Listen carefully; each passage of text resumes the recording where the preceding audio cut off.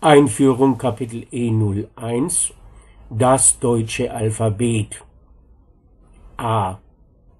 Das deutsche Alphabet beginnt mit A.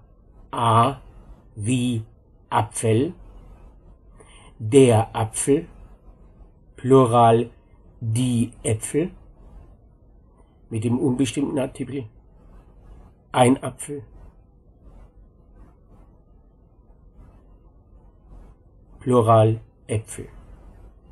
Das ist ein großes A, das ist ein kleines a.